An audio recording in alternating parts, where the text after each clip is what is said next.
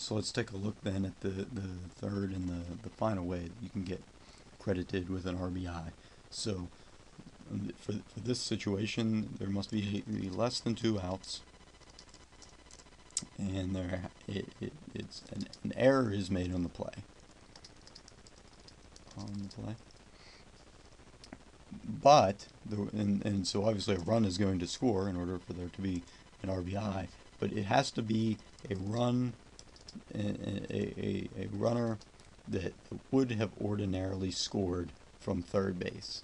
So a runner, runner, you know, scores run that that ordinarily would have scored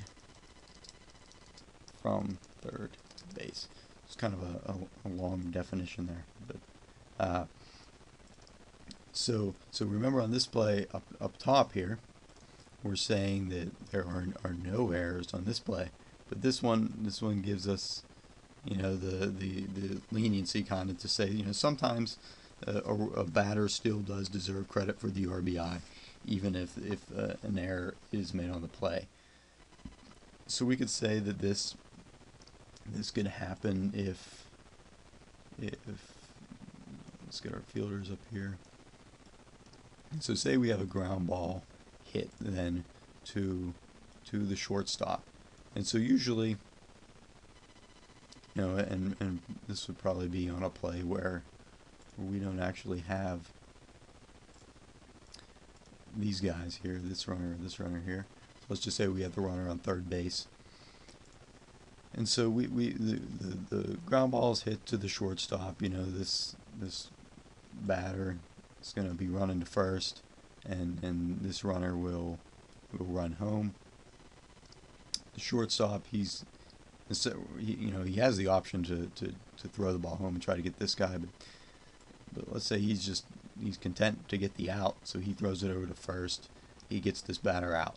So that situation, you know, that's that's an ordinary situation where where th this would be, you know, the, the first way here. This would be there's no errors on the play you know, and, and it's an, an infield out where a, a, a run scored because the ball was put in place by the batter, so we give the batter credit. So let's say rather than than than that happening, rather than the shortstop picking the ball up, you know, he, he runs up maybe to to, to charge the ball.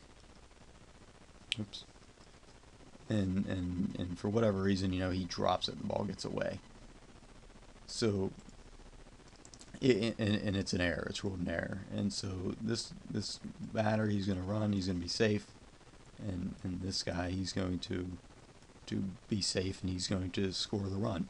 So, you know, if we just had this first first you know piece possibility of a way to get an RBI, it, it would this run would not count as an RBI for the batter because there would have been an error on the play.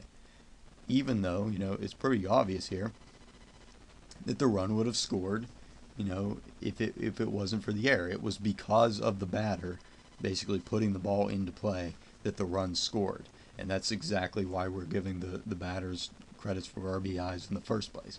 So in this situation, it, it, it, it this, this third third piece here makes complete sense to, to award the batter with the RBI.